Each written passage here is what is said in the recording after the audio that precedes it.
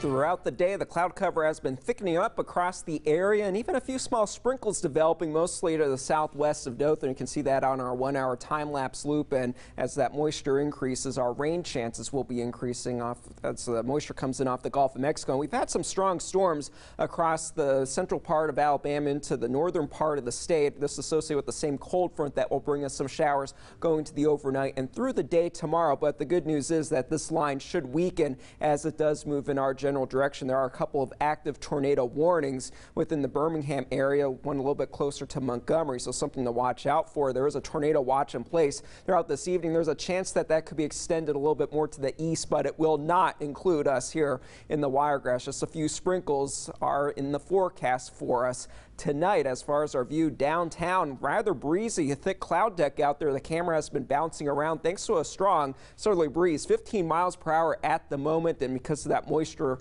increasing, the temperatures are going to be very slow to cool off for tonight. Just the middle 60s expected by tomorrow morning upper 70s for most of our reporting sites. Blakely, one of the cool spots, 73 degrees, a little bit cooler out in Crestview, Defuniak Springs, Florala, where there have been some small showers working their way through, but our rain chances will be increasing as we do head into the overnight. More rain is expected for Friday, by far more than what we will be dealing with for tonight. So if you do have plans to be downtown tonight, maybe just a few small sprinkles will be expected for us, not out of the question. Cool and nice weekend will be expected as the storm system that we are tracking tonight and through the day tomorrow clears us off to the east and on the backside of that going into next week. Certainly some seasonal temperatures in the forecast. We'll be looking at our temperatures in the 70s and 60s for highs with dry conditions. That main frontal boundary will be moving through tomorrow, hour by hour. We can see that getting a little bit closer tonight. First thing tomorrow morning, we will have some showers on the radar and then going throughout the day, that moisture will be streaming in from the Gulf of Mexico. So possibly around dinner time or so, things will certainly be drying out on the radar. And then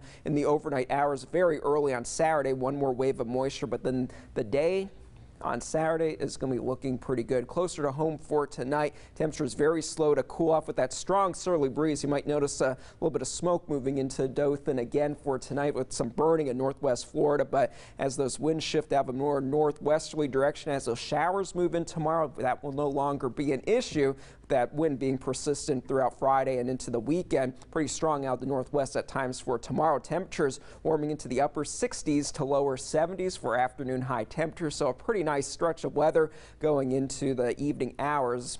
For tonight, though, Definitely a mild one, if not downright warm. 66 degrees for the low temperature. A few passing showers, and that will be the case going through the early morning hours tomorrow as well, with those mild temperatures sticking around. And with the cloud cover and those rain chances moving in throughout the day tomorrow, those high temperatures will be a little bit cooler than for today. A little bit on the slower side to warm up for tomorrow afternoon 73 degrees for that afternoon high temperature. So not much of a temperature spread for tomorrow. A little bit cooler on Saturday on the backside of that storm system rather breezy. And then for St. Patrick's Day calming down a little bit warming up a bit as well upper 60s I do want to note that those